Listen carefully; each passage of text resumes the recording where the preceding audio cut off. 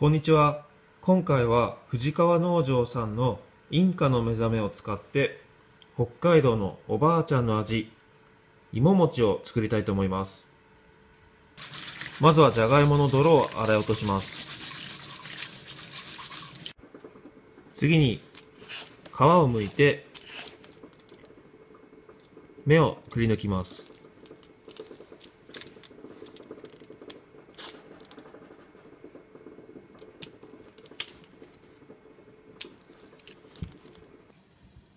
じゃがいもの皮を剥いて芽を取りましたら次にじゃがいもを切ります。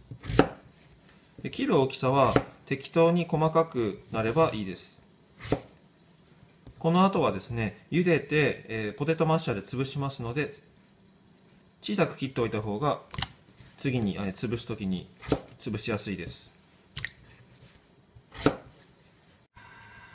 じゃがいもを茹でます。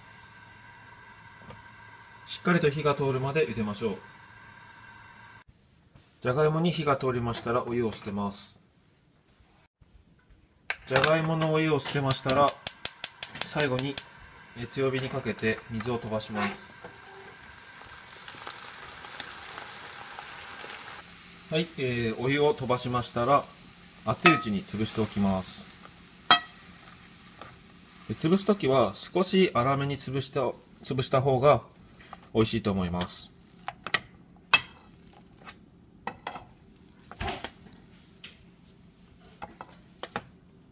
はいこのまま、えー冷ましておきましょう。熱いうちに片栗粉を入れてしまうとくっついてしまうんですね。はい、えー、じゃがいもを潰して冷めましたら片栗粉を入れていきます。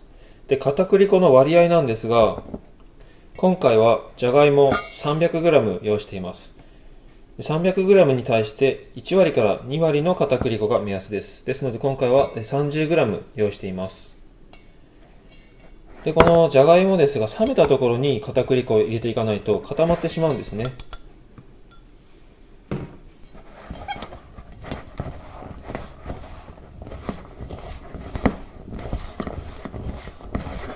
でこのようにしっかりと混ぜていきます。粉っぽさがなくなるように混ぜましょう。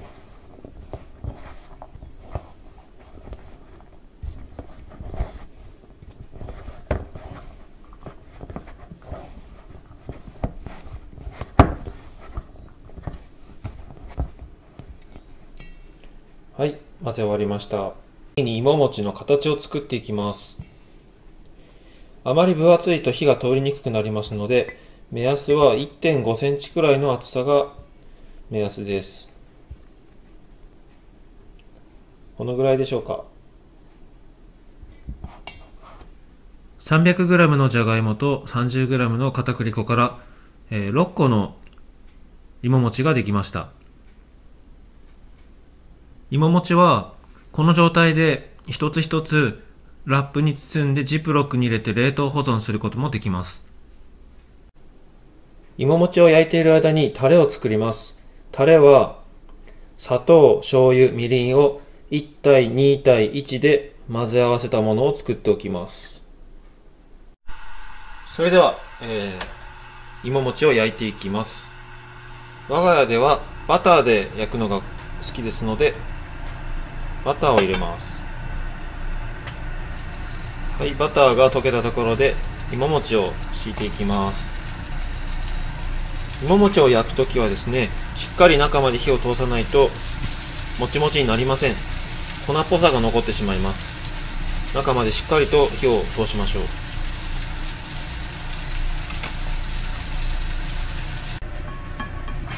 ひっくり返します。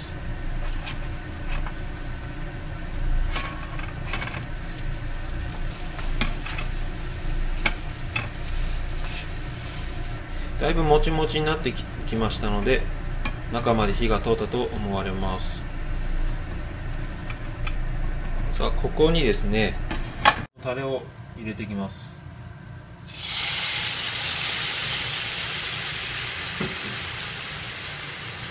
これはとろみが出たところで火を止めましょう。はい完成です。はい、北海道のおばあちゃんの味、芋餅の完成です。